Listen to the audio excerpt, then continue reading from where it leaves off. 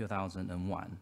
Um, he's currently a faculty member uh, at the University of Washington in the Department of Microbiology. Um, he's leading a research group in computational biology and bioinformatics. Um, so he has done a lot of great work um, in the field of computational genomics, bioinformatics, um, uh, protein structure uh, calculation, and drug design. Uh, he has won many awards. Uh, most recently, the NIH uh, Directors, Directors Pioneer Award. So he's going to be telling us about interactomics.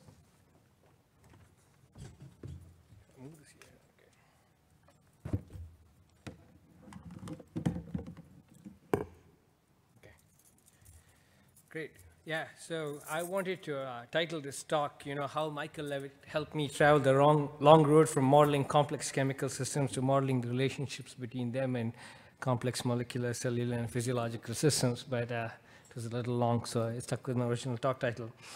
So I wanted to, I want to start by giving you a background with, uh, of what I did with Michael Levitt initially, and then how that led me to the work I'm doing right now and what I plan to do in the future. So I joined Michael's lab uh, uh, doing uh, when CASP was uh, was uh, what do you say gaining prominence. CASP stands for the Critical Assessment of Structure Prediction, and it was this uh, contest started by John Moult to test prediction methods in a blind way. Until CASP came about, predict, people were making predictions and they're benchmarking it and overtraining the methods and uh, doing well in publications, but the programs weren't doing well when novel proteins were given. So John came up with this me method of going to crystallographers and NMR spectroscopists to find out what sequences they're working on, and then go to uh, the uh, modelers and ask them to build the models before the answer was known. And um, this happened over a period in, uh, over a period of three, four months during the summer, and we'd all get together in December and try to figure out what went wrong. And uh, so, and uh, CASP 1 was a big eye-opening experience for us. And at CASP 2, I, I, uh, the first methods in comparative modeling started doing well. People like myself and Andre Saudy were some of the best predictors. And I joined Cas3 to do de novo structure prediction with Michael Levitt. So with John Malt, I developed these all-atom potentials, and it was John Malt who told me to, you know, you know, take a position with Michael Levitt. And uh, at Cas3, for the first time in de novo prediction, there were a bunch of people, including David Baker, Skolnick, and even Sharaga, so on, a bunch of people who did well in de novo prediction methods. Uh, and we were the first uh, to, to predict the first, you know, according to Alexei Mirzin, there were only two novel folds in this whole uh, Cas2 out of like 30 structures or so. And we were, we were able to get the topological fold right for, that, for those two folds. And, uh, but in general, this was the first consistent de novo prediction seen, and this was at Cas3, and this was the work I did with Michael. And in order to do this, I actually took on the work that Michael had previously done with, uh, with um, uh, Britt Park and Jerry Tsai and uh, Enoch Huang and uh, also uh, David Hines. So I, I, took all this, all this work and combined them in a lattice-based method, a hierarchical lattice-based method for structure prediction. And uh, so we were able to get these methods at Cas3. So at Cas3, we learned that we could, we could actually break the structure prediction problem. And since then, people have been kept uh, uh, developing methods that have gotten better and better. David Baker did well for a while. And then uh, right now, Yang Zhang and people like Soding with uh, HH-Search are some of the best, uh, uh, have some of the best prediction methods out there. But I started um, applying this to whole genomes or whole proteomes. So, so not only getting a structure, but also try to get it functions. So we developed methods to predict function from structure. And since we could do that for single protein, we started doing this for pairs of proteins and DNA protein complexes, the protein small molecule complexes, and now trying to build atomic models of whole systems. You know, we built an atomic model of the lac operon with like 20,000 atoms. We developed infrastructure to take all this stuff, integrate it with, you know, other kinds of data like expression data, and we started having a lot of applications. My first grant the UW was to build the structure and uh, function of all proteins encoded by six rice proteomes, about, about 125,000 proteins total. And uh, we used, the, in collaboration with IBM, we used the World Community Grid and you know, millions of volunteer CPUs to do this work. Uh, we've done some nanotechnology work, you know, trying to you know, develop protein sensors and small molecule proteins that bind to inorganic substrates. And most of my recent work, the, the subject of this NIH Director's Pioneer Award that I got in 2010 was to, was to basically screen uh, small molecules against protein structures. And so we've done that. We've now screened 3,733 small molecules against 48,000 protein structures. And rather than, you know, we can't do docking, like you know, the, the full fragment-based docking with dynamics method we have, we can't do it for all the proteins. So we, we have a, like a predictive bioanalytic, bioanalytics method, analytics method to predict interactions between proteins and small molecules. And so and we give a single value so, uh, for them, and you know, idealized it looks like this. There's you know, positive interactions, negative interactions, and neutral interactions. But uh, uh, you know, so and you create a matrix like this, but in reality, this is the matrix of real values. And so you can look at it both ways. And the underlying this matrix is a very complex relationship network between proteins, compounds, and, and the genes that encode the proteins and so on. And anyway, we developed metrics to look at these compounds as these vectors of real values or even as the, looking at the underlying networks and we compare these compounds this way, right? So, so the way traditional drug discovery works is, you know, you have a single protein and you try to hammer that protein with the, the small molecule and you find one that works and then you hope that it goes through the rest of the, you know, uh, the, the in vivo and the phase one, phase two, phase three clinical trials. But uh, that's not how drugs work. When you ingest a drug, it binds to multiple proteins. We've seen this, and uh, and so um, so so the the traditional model of drug discovery has, hasn't worked for for the for, for a while, and uh, so, so we want to take existing drugs and repurpose them on a large scale. Each of these 3,733 compounds correspond to 2,000 diseases total. And so, so we want to see how each one of these compounds could work for every one of the diseases. And we do this by comparing these signatures. And we have a complex method of comparison, but, but, it, but it, turn, well, it turns out that using the RMSD, the root mean squared deviation of these real values, uh, gives us the best accuracies right now. So we can benchmark the accuracy of this method. So we have a drug, so we can we have a drug discovery method and we can benchmark its accuracy by seeing how well we can recover the existing drugs that are approved for particular indications.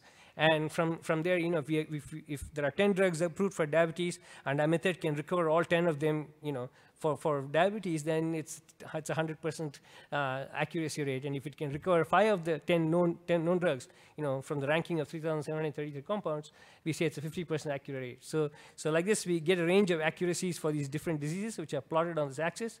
This is the other axis which shows the accuracy if you use a random randomized matrix where you scramble the rows and columns. So, so using random matrices don't, doesn't give you a very high accuracy. It's like 0.2%, and it's, it's close to what you would expect by chance. Uh, and uh, the average Candia accuracy for the top 25 is about 20%, 22% here, it's given. That. That's indicated by this light circle in, in, case you missed it.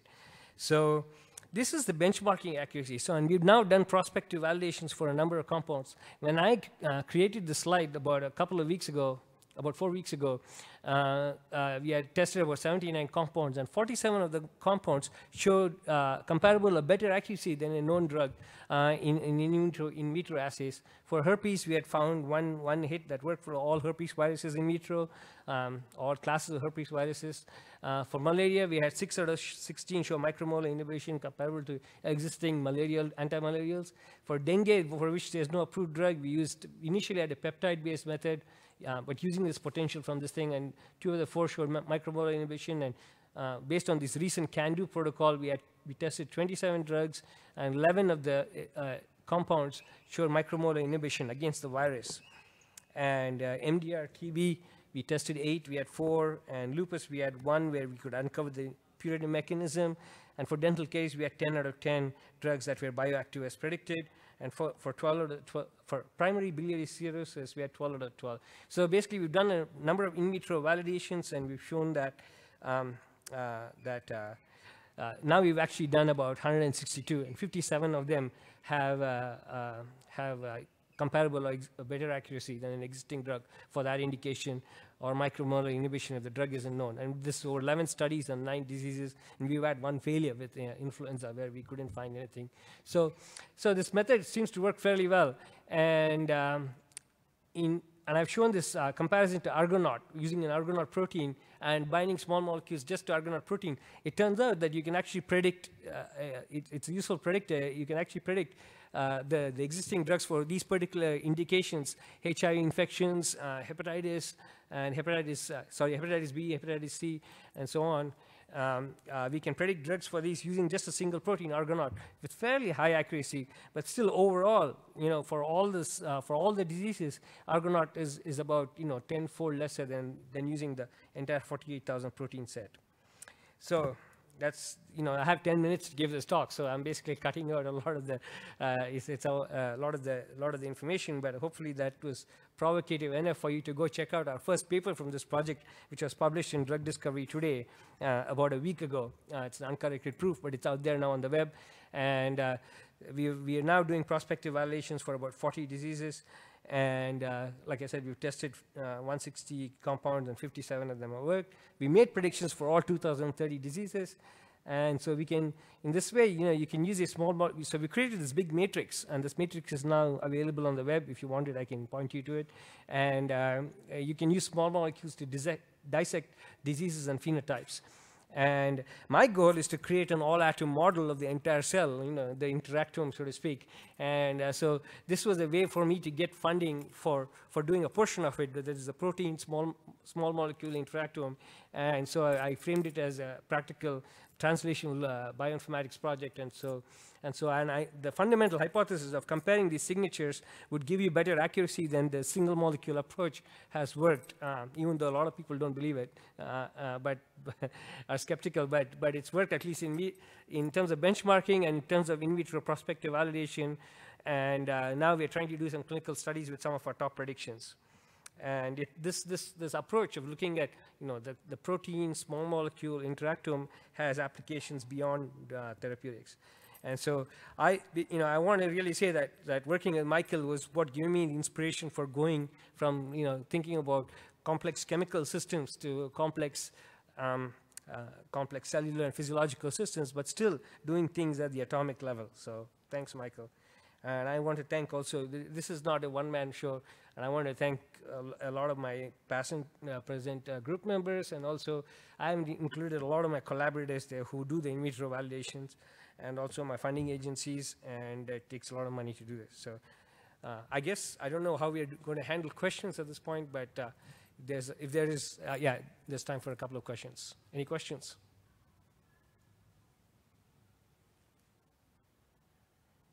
None?